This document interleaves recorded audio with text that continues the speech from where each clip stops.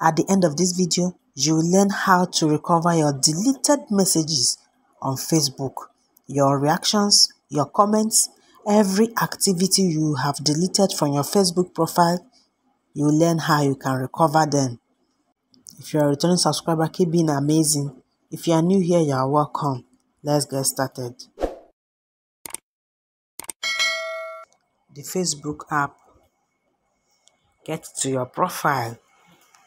Click on the three lines at the top right hand corner. The three lines here at the top right hand corner. Click on Settings and Privacy. Settings and Privacy. Click on Settings click on your profile settings your profile settings scroll down scroll down to download profile information download profile information this is where you can download your information you can download a copy of your facebook information at any time you can see all of it your activity across Facebook. You have saved items and collections, messages, posts, all of them are highlighted. We only need to recover messages. So we are delete, deselecting all of them. Deselect all and select only messages.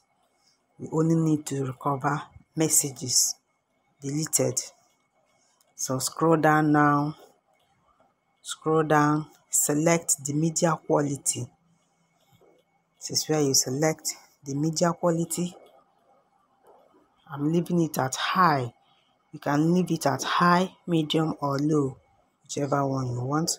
Select the format, HTML or JSON.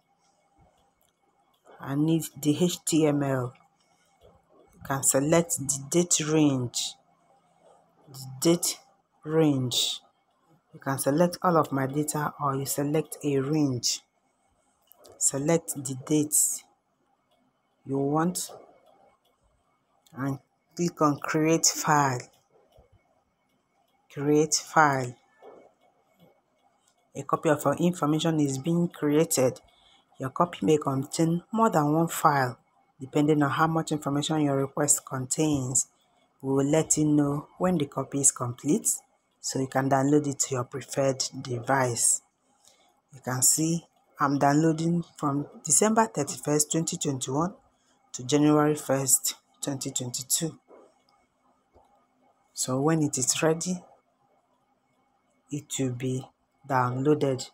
This is how you can recover deleted messages from your Facebook profile.